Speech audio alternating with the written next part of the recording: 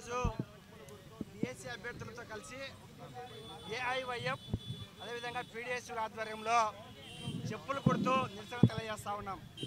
ఎందుకంటే జగన్మోహన్ రెడ్డి గారు ప్రతిపక్షంలో ఉన్నప్పుడు పాదయాత్ర చేస్తూ టీడీపీ ప్రభుత్వం ప్రభుత్వ శాఖల్లో పోస్టులు ఖాళీ చేయలేదు. మన ప్రభుత్వం వచ్చిన వెంటనే ప్రతి సంవత్సరం జనవరి నెలలో జాబ్ క్యాలెండర్ విడుదల చేసి డిసెంబర్ లోపల ఆ పోస్టులు మొత్తం భర్తీ చేస్తానని చెప్పి చెప్పాడు.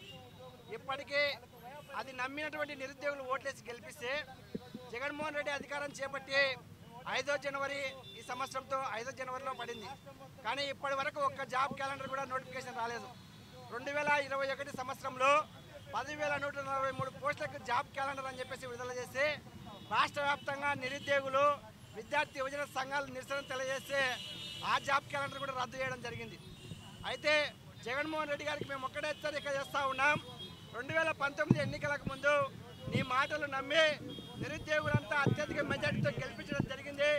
అధికారాన్ని చేపట్టినటువంటి మీరు ఇప్పటి వరకు జాబ్లు భర్తీ చేయకపోగా చాలామంది నిరుద్యోగులు రోడ్లు పడుతున్నారు దాపరిస్తూ ఉంది. మీ ఇప్పుడైనా ఎన్నికలు సమీపిస్తున్న తరుణంలో మీరు ఇచ్చినటువంటి జాబ్ క్యాలెండర్ హామీని అమలు చేయాలి.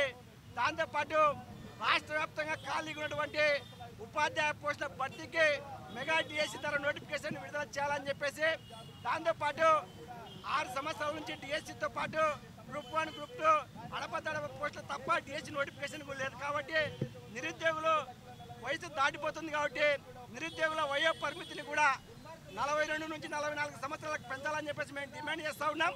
ఇప్పటికైనా రాష్ట్ర ప్రభుత్వం స్పందించి రాష్ట్ర వ్యాప్తంగా ఖాళీ ఉన్నటువంటి పోస్టులకు నోటిఫికేషన్ మెగా డిఎస్సి నోటిఫికేషన్ విడుదల చేయకపోతే మాత్రం రెండు వేల ఇరవై నాలుగు ఎన్నికల్లో నిరుద్యోగులందరినీ ఏకతాటిపైకి తెచ్చి ఈ రాష్ట్ర ప్రభుత్వానికి వ్యతిరేకంగా ఈరోజు మేము చెప్పులు కొట్టుకొని నిరసన తెలియజేస్తూ ఉన్నాం.